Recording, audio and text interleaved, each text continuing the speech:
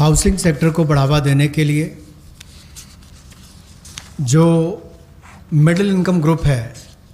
जिनकी आय छः लाख से अठारह लाख तक की है, उनके लिए सत्तर हज़ार करोड़ का बढ़ावा देने वाली ऐसी योजना हम लेकर आए हैं, जिससे छः लाख से अठारह लाख की आय वालों को हाउसिंग सेक्टर में लाभ मिलेगा। ये सत्तर हज़ार करोड़ का बढ़ावा देने वाली योजना है, जो क्रेडिट लिंक सब्सिडी स्कीम जो 31 मार्च 2020 तक हमने एक्सटेंड की थी, जिसका लाभ 3.3 यानी कि तीन लाख तीस हज़ार के लगभग मध्यम वर्ग के परिवारों को हुआ था। अब इस योजना को 31 मार्च 2021 तक बढ़ा दिया गया है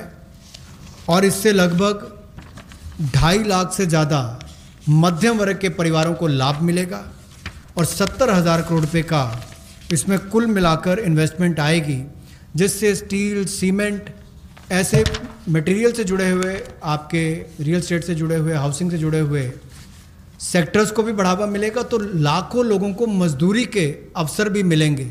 तो मजदूरों को भी लाभ मिलेगा और इन सेक्टर्स को लाभ भी मिलेगा और गरीब के ऊपर वाली श्रेणी जो है मध्यम वर्ग की, उसको घरों का लाभ भी मिल पाएगा।